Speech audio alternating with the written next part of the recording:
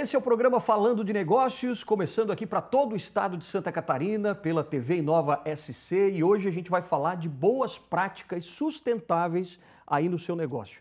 Aliás, alguns empreendedores né, podem até se perguntar: Poxa, mas como é que eu faço isso? É, será que isso é muito caro de implantar? É um projeto complicado? É, ou é só para pequenos, para médios ou grandes empresários? Não, a gente vai tirar essas dúvidas hoje aqui então com um time aqui de empresários, de consultores também, que vão explicar para a gente, né? Qual é o momento de você realmente, pequeno empreendedor, implantar uma prática sustentável para você é, ter realmente sustentabilidade financeira, mas também uma sustentabilidade social dentro do meio ambiente, com a governança também é, adequada para realmente o seu negócio, né? Progredir cada vez mais e crescer cada vez mais com sustentabilidade. Então a gente está trazendo aqui hoje no programa Falando de Negócios o nosso analista do Sebrae, consultor do Sebrae e também sócio da empresa Teia Biodiversidade e Negócios, é isso? Luiz Freitas. Tudo bem, Luiz? Tudo bom, Alexandre? Obrigado pela tua participação aqui hoje. Obrigado também. Valeu, é um obrigadão. Aqui. Temos aqui também o Glauber de Oliveira da Fontoura, que é diretor executivo também da Teia Biodiversidade e Negócios. Obrigado, Glauber, tudo bem? Tudo bom, tudo certo, Alexandre? Maravilha. Aliás, vocês estar são aqui. sócios, né? Sim. Dessa empresa. Sim, Exato. somos. Maravilha. A empresa tem quanto tempo já, Luiz? Ela tem, ela é desde 2018. Tá, é, é recente então, né? É recente, é quatro anos, mas ela tem uma concepção lá de trás, ela é um, um objetivo de vida que se concretizou em 2018 e de lá para cá a gente, o nosso propósito é trazer a sustentabilidade e levar a outros negócios, né? Opa. Esse é o nosso negócio. Que legal. Então o negócio de vocês já é sustentável, quer dizer, vocês praticam aquilo que vocês ensinam, né? Exato. Aquilo que vocês expõem para os demais empreendedores. E, e, o nome é Teia porque tudo está conectado, tanto hum, a parte da de recursos naturais, quanto a parte social, quanto a parte de governança, eles são é, interconectados, uma coisa não funciona sem a outra. Por Verdade, isso, teia, biodiversidade, que é a base do, de qualquer recurso para uhum. nós vivermos, para nós termos economia, Sim. e negócios, como é que a gente toca uma economia regenerativa que não só explore recursos, mas também deixe legados positivos para outras gerações. Entendi. E Glauber, então vocês resolveram fazer junto com o Sebrae então essa parceria, porque através do Sebrae vocês conseguem então prestar consultorias para esses pequenos negócios, né? Ou que estão surgindo ou que já estão estabelecidos, é isso? Exato, Alexandre. É... Essa questão né, da sustentabilidade, do ESG, né, tem permeado as estratégias das grandes empresas e a gente aqui como Sebrae, consultores do Sebrae, a gente está ajudando a desenvolver uma estratégia para os pequenos negócios também falarem essa língua e atenderem né, as demandas que os grandes negócios estão exigindo cada vez mais dos pequenos. Entendi. Quer dizer, é o environmental, é o, é, é o ESG, é o ambiental, que é uma sigla Exato. em inglês, né? Uhum. Environmental, que é o ambiental, depois o social e a governança, a governança. o G de governança. Perfeito. Que bacana. Agora, esse projeto começou quando? É, que é o projeto, é, na verdade é um programa, né? É Isso. o Programa Sustentabilidade nas Empresas, do Isso. SEBRAE. Programa Empresas Sustentáveis. Empresas Sustentáveis. Isso, é um programa é, em parceria SEBRAE, Governo do Estado de Santa Catarina, em que a gente desenvolveu uma metodologia de atendimento e que passa por uma fase, uma etapa de diagnóstico para compreender o negócio como ele está hoje, as práticas sustentáveis que, que se desenvolvem hoje e que de que forma essas práticas podem ser melhoradas ou uhum. até introduzidas nas três vertentes que você colocou, tanto do social, quanto governança, quanto ambiental. Certo. Então esse projeto começou desde o início do ano e, e vocês já colocaram em prática em alguma empresa desde o início do ano? Como é que foi? É, como o Luiz comentou, a gente fez todo um trabalho de desenvolver uma metodologia. Uhum. Né? E quando a gente desenvolve uma metodologia, a gente, uma metodologia, a gente precisa testar e foi o que a gente fez em três empresas até o momento para poder fazer né, esses ajustes né, na metodologia que agora vai vir a ser é, lançada né, para todo o estado, para todos os clientes do Sebrae muito em breve. Aí, é, peço para todos os empresários que têm interesse ficarem aí de olho nas redes sociais aí do Sebrae, que isso vai aparecer em breve. Ah, bacana, maravilha. Então a gente vai contar os detalhes também aqui, né? Com certeza. Agora, como vocês começaram já com uma empresa, é, foi uma empresa modelo, piloto, né? Uhum. E a gente está com esse convidado também aqui, né? Que é o Guilherme Três, sócio administrador da Vergo, que é uma empresa de peças para automação. Tudo bem, Guilherme? Como é que você está? Boa noite. Boa noite, boa noite, tudo bem? Tudo ótimo por aqui. Obrigado pela tua participação. Aliás, você está em Blumenau, né? Blumenau, sim. Maravilha. A tua empresa, é, você começou é, agora junto com o Sebrae nesse projeto né, de sustentabilidade nas empresas. E qual era assim, o grande problema que você via e que, por exemplo, você ainda não conseguia implantar né, a sustentabilidade no seu negócio? Como é que foi desde o início? Sim. A sustentabilidade, eu creio que sempre foi, fez parte da, da empresa, né? Nós sempre tivemos essa, essa veias de sustentabilidade em nós, porém nunca conseguimos parar para organizar essa, essa questão, né? Uhum. Então, o programa Empresas Sustentáveis veio justamente para é, colocar a casa em ordem, para nos fazer enxergar melhor né, todos os, os, os, parâmetros que nós devemos observar em relação à questão da sustentabilidade, da governança né, e da questão social e pôde nos dar então uma, uma via um pouco mais é, aplanada assim para a gente poder então começar a trilhar dentro desse caminho da, da, sustentabilidade. Que bacana. Então vocês começaram a trabalhar junto com ele. Vocês fizeram um diagnóstico, digamos assim, né? Como é que foi esse diagnóstico, Luiz? Isso. A gente trabalhou durante três meses com o Guilherme e uhum. outras duas empresas de outros setores também. E para mostrar e para testar a metodologia que a sustentabilidade é de qualquer negócio, de qualquer setor. Ah, o Guilherme, ele é da, do setor de automação, mas nós trabalhamos com uma empresa do setor de nanotecnologia e de outra do setor têxtil. Uhum. E é bem interessante, o Guilherme até poderia contar um pouquinho para a gente, que quando a gente fala sustentabilidade, ah, são coisas muito fora da minha realidade, uhum. são práticas muito caras ou é, é, são ações voltadas ao grande. Mas o Guilherme tem ações, por exemplo, com os colaboradores dele, hum. as ações em relação à, à, questão da administração financeira. Acho que você poderia comentar um pouquinho também, Guilherme, é, quais são essas práticas e como que, a, que o próprio programa pode trabalhar contigo? Uhum. Dentro da questão é, ambiental, que é o que está mais é, em pauta aqui ultimamente, né, foi nós fizemos algumas ações já. É, uma ação básica que todo mundo pode fazer e deve fazer, não só na empresa como em casa, né? É a questão da separação do, do lixo, né? Então, destinando corretamente o lixo que pode ser reciclado, né? E o lixo que não pode, então, de, também de, de, forma correta, né? fazendo a separação para coleta seletiva. É, outra ação que nós fizemos recentemente, é, combinando junto né, com o Dia da Árvore, nós demos é, demos início ao, ao programa aqui da Vergo Sustentável, é, que nós temos o objetivo que em 10 anos nós vamos é, compensar totalmente as emissões de carbono da empresa, né? Opa. Então, agora, dia 24 de setembro, nós demos o pontapé inicial, fizemos o plantio de cinco árvores dentro de todos os parâmetros que são exigidos para que, que seja de fato válido isso, né? Uhum. E então temos um objetivo que em 2032, no máximo, nós vamos ser totalmente neutros nas nossas emissões, né? Poxa, que bacana, hein? Isso é. É, é, é um trabalho, quer dizer, que deu certo e foi pouco tempo, né? Três meses, basicamente? Exato. É, a gente teve primeiro uma etapa de diagnóstico. Uhum. Então, o Guilherme, assim, na Vergo, né, e as outras empresas que também participaram da etapa piloto, começaram a enxergar é, a sua empresa perante aqueles indicadores ESG. E aí então o Guilherme, a partir desses indicadores, começou a ver como que ele estava desempenhando, né? Uhum. Como é que a empresa dele estava performando nesses indicadores. Né? E a partir disso, esse um plano de ação, né, que a gente criou em conjunto com ele, é, ele a gente te, trouxe essas informações, trouxe como fazer é, e conectou ele com né, oportunidades que a gente tem, seja questões financeiras, de crédito, seja questões até muitas vezes de um contato com uhum. é, um parceiro local que pode ajudá-lo né, em alguma questão do plano de ação dele. A gente ajudou ele a poder é, começar a colocar em prática. E uma, das, dos, uma da, das etapas é ter um diagnóstico de emissões de gases de efeito estufa.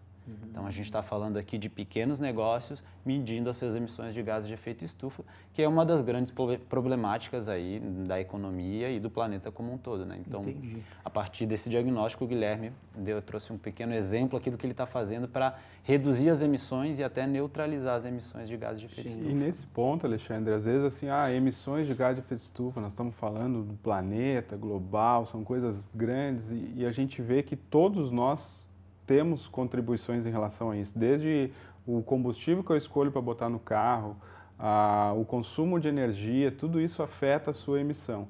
O Guilherme conheceu a emissão dele, uhum. ele tendo disso, ele foi atrás e a gente ajudou no, o, ele quis fazer a parte da compensação e ele foi atrás dessa articulação, ele conheceu, mas além de compensar, o programa, quando você olha para a sua emissão, você olha aonde estão os seus maiores gastos e as suas uhum. maiores fontes.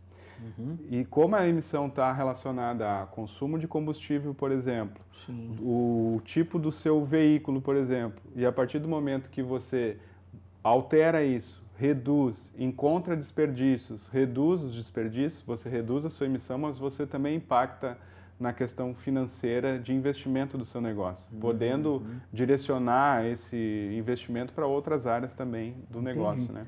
Guilherme, explica para a gente um pouquinho, por exemplo, só para o pessoal de casa entender também, você fabrica peças é, de automação, né? Como é, como é que é esse processo de fabricação? Nós somos, na verdade, distribuidores de ah, equipamentos para automação especializados em pneumática e vácuo, né? uhum. e também desenvolvemos projetos dentro dessas duas linhas. Né? Então, é, quando, quando há necessidade, nós então desenvolvemos o projeto uhum. e fazemos a montagem em si. A fabricação em si não é feita aqui, é toda terceirizada. Ah, entendi. Agora, além dessa questão da emissão, né, é, você também percebeu, através de todo esse projeto, da, de todo esse programa é, do SEBRAE, que você poderia também cortar custos e ser mais sustentável em outras áreas dentro da empresa? Sim, é, nós fizemos alguns apontamentos né, de possíveis é, áreas em que nós podíamos melhorar e ser mais é, eficientes né, na nossa operação uhum. e, com isso, por consequência, reduzir os custos. Né? É, eu tenho aqui um levantamento que foi feito, mas é, principalmente na questão não só de reduzir custo, mas também de poder agregar mais valor no que nós já fazemos e, com isso, ser mais lucrativo. Hum, então, com essa consultoria, nós podemos enxergar bem isso uhum. e, e, podemos mensurar essa questão, vendo que aquela 80% do nosso faturamento corresponde a 20% da lucratividade e 20% do faturamento, que são é, itens engenheirados que nós é, projetamos aqui, correspondem a 80% do nosso faturamento, do nosso, da nossa lucratividade. Então, isso a gente pôde enxergar e pôde, então, apontar, dar um foco naquilo que mais interessa, de fato, que é o ser sustentável financeiramente, né? ou seja, dar lucro. Porque se nós tivéssemos continuado naquela mesma é, é, dinâmica de somente a questão de distribuição, a nossa margem tendia a zero e, por consequência, a empresa não seria sustentável por longo prazo, uhum. né? financeiramente falando. Né?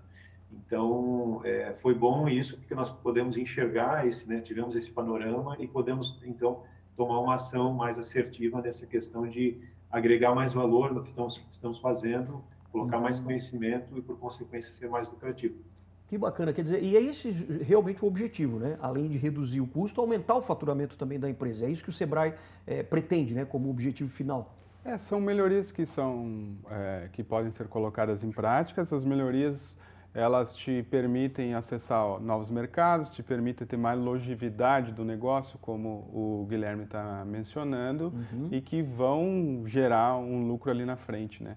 Mas a gente sempre pensa a sustentabilidade como um modelo de negócio e voltado à prosperidade do, do negócio mesmo. Ah, que legal. E o bacana mesmo é que vocês, como já têm essa expertise, quer dizer, vocês fazem justamente na empresa de vocês aquilo que vocês ensinam, né? Nas consultorias dentro do, do Sebrae. Eu vou querer saber um pouquinho mais é, das empresas que vocês também atendem. Depois nós vamos conversar com o Guilherme também como é que ele percebe esse mercado inteiro de sustentabilidade que a gente precisa explorar mais também e entender melhor, né? Quer dizer, o pequeno empreendedor precisa conhecer um pouco mais disso, quer dizer, ter mais informações também. mas só daqui a pouco depois do intervalo. Pode ser? Vamos fazer uma pausazinha aqui e a gente volta daqui a pouquinho falando então sobre práticas sustentáveis aqui no Falando de Negócios. Já já.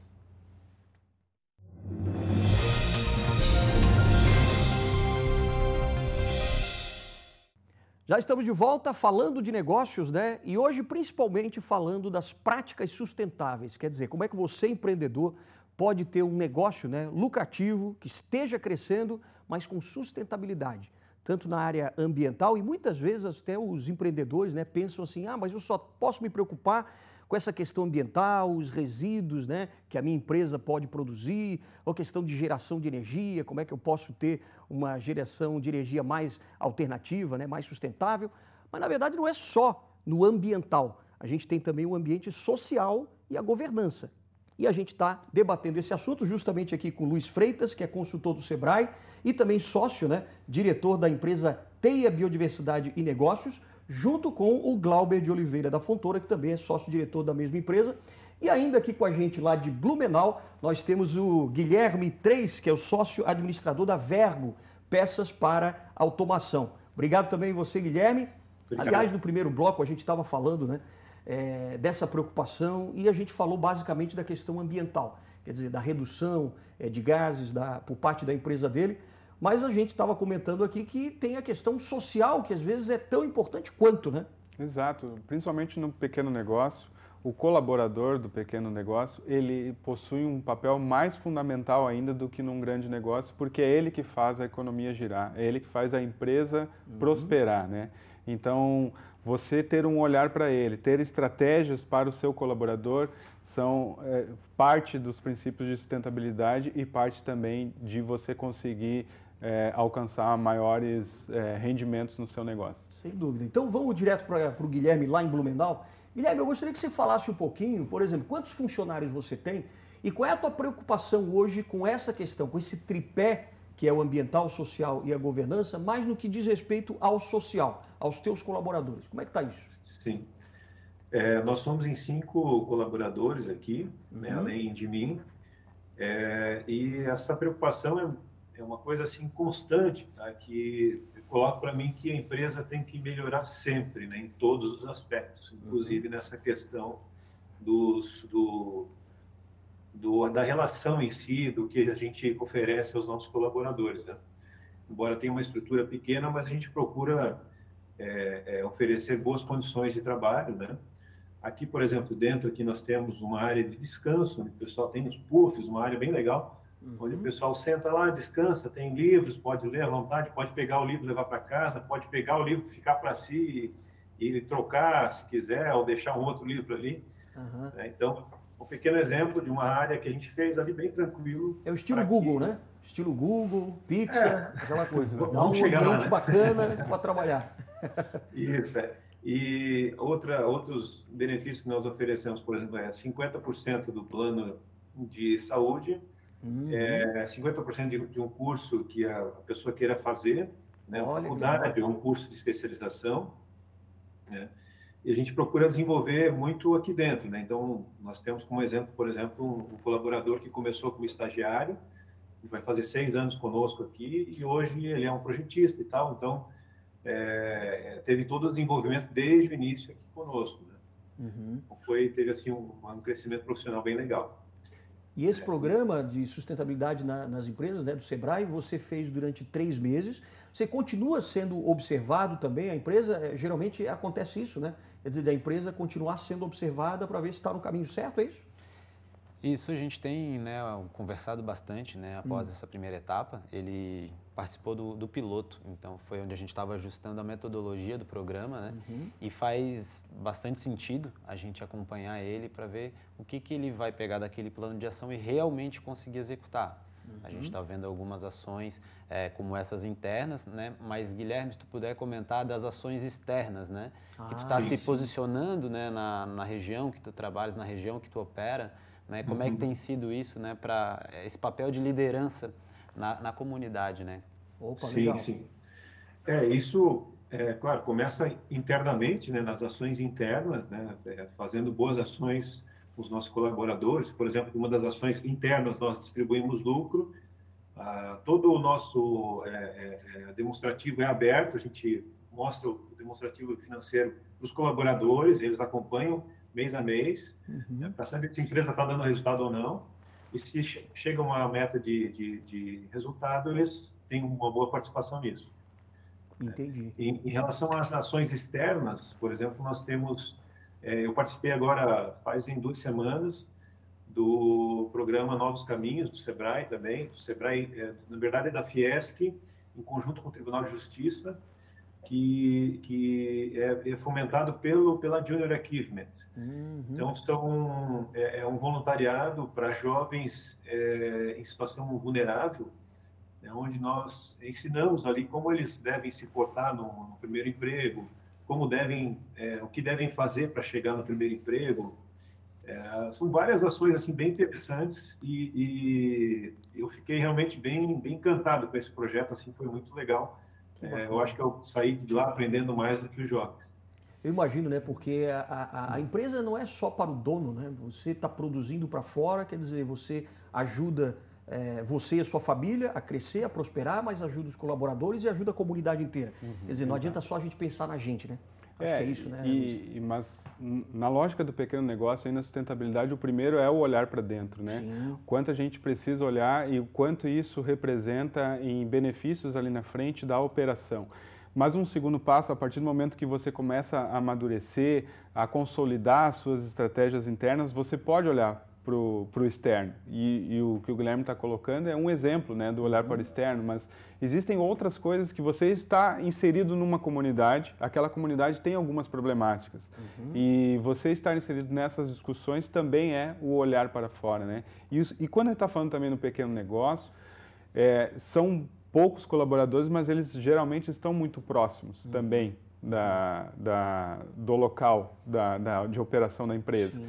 E eles integram essa comunidade e você estar inserido nessas discussões, você também está tá desenvolvendo um senso de colaboração, de, de, social dentro da empresa. Sem né? dúvida. Agora, antes de até de a gente falar um pouquinho mais sobre a questão prática, porque o empreendedor que está em casa, ele quer saber, tá, mas como é que eu faço esse plano aí? Como é que eu vou implantar isso na prática? Né? É difícil, eu tenho que desembolsar alguma coisa, como é que eu faço esse treinamento, enfim. Mas já já vamos chegar nisso daí. Mas eu queria que você falasse, por exemplo, Glauber, que vocês, como uma empresa, e vocês já fazem isso, vocês têm outros clientes em várias partes do Brasil, né? É, em que setores, por exemplo, vocês também atuam e que também têm essa preocupação com a sustentabilidade?